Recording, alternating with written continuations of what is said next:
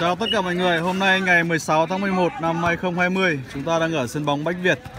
À, Trận đấu đang uh, diễn ra là giữa lớp uh, sửa chữa ô tô, máy gầm và lớp uh, xe máy. Hiện tại thì đang là hiệp 2 Trận đấu đang diễn ra rất là quyết liệt. Tỷ số đang là hai đều.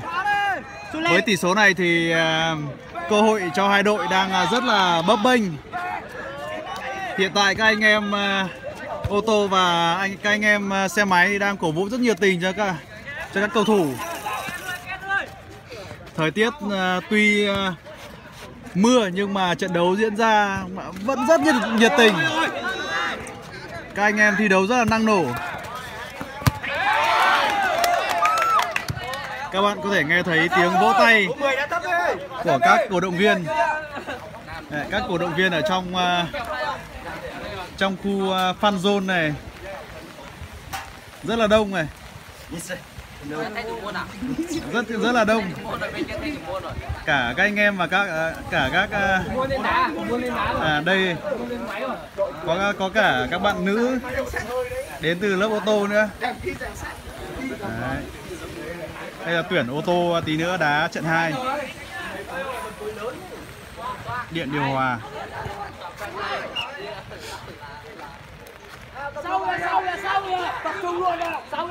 Để cuối trận đấu thì không khí rất là căng thẳng. Quá căng thẳng luôn.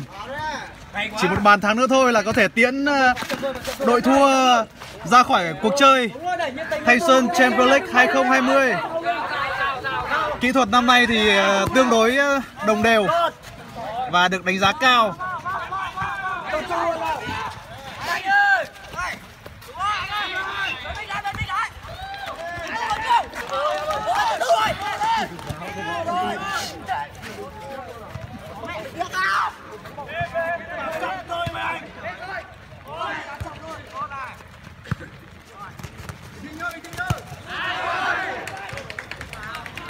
rất là hay.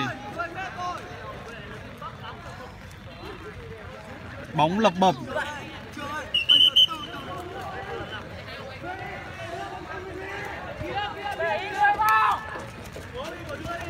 Giải đấu năm nay giải đấu năm nay quy tụ à, đội bóng của tất cả các lớp và các khoa trong trường.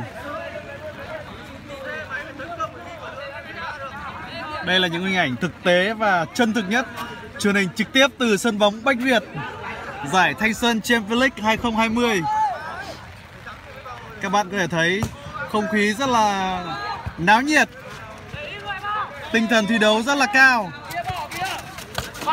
Vào! Bàn thắng vừa rồi là của lớp uh, máy gà mô tô. Năm nay có lẽ à, xe máy à, sẽ bị loại loại trước rồi loại ngoài từ vòng gửi xe rồi. Bàn thua rất là nhanh. Vừa gỡ được hai hai đều xong. Điều này chứng tỏ lớp ô tô có một đội hình rất là đồng đều. Đó điều đó bắt nguồn từ số lượng à, các học viên ô tô rất là đông. Lúc nào cũng chiếm tầm khoảng 50% à, à, học viên trong trường